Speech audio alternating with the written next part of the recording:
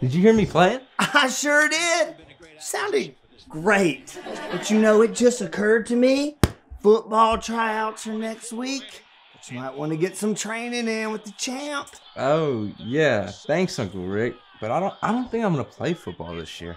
What are you talking about? You've always loved football, like me. Yeah, I do love football. I just think I want to try something different. Like what? Well, there's a new band in town and they're looking for a drummer. They're holding auditions tomorrow and I think I might try it out. But you don't even know how to play the drums. Yeah, you're right. And I probably wouldn't make it anyways. Let's just go practice football. Wait, Tommy. Is this something you really want to try? I really do, but it's probably impossible. Well, then I'm going to help you be a drummer. But you know even less about drumming than I do.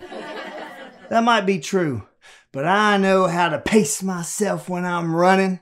I know how to swing my arms for that perfect pass, and many other things that might translate to you being the best drummer there is.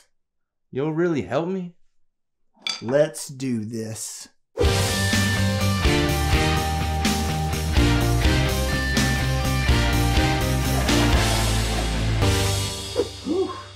I think you're ready.